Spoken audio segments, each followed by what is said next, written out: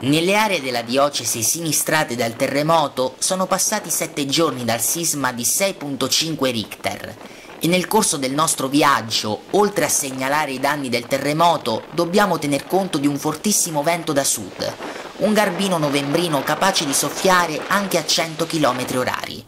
Queste immagini si riferiscono a Monte Monaco, nei pressi del palazzo comunale e in via Stradone, con le abitazioni danneggiate dai terremoti di questi mesi e squadre di vigili del fuoco e di protezione civile provenienti da tutta Italia a monitorare la situazione.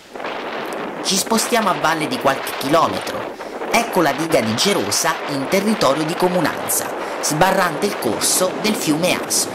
Guardate l'acqua dell'invaso artificiale, che sospinta dal vento crea delle vere e proprie onde che si infrangono sulla più che trentennale diga. Questa è la situazione a Force, già colpita dal terremoto, e a Porchia, frazione di Montalto delle Marche. Difficoltosa la situazione sulle strade provinciali, con rami e detriti che invadono la carreggiata. Ecco come si presenta la strada provinciale cuprense tra Montalto e Monte di Nove, la strada provinciale Castel di Croce Rotella e la Valtesino poco dopo Rotella in direzione Grottammare. Una situazione, quella della Valtesino, pericolosa, soprattutto nel tratto Rotella-Ponte Tesino di Cossignano. Con questo vento si registrano sia di notte che di giorno temperature elevate ben sopra la media del periodo.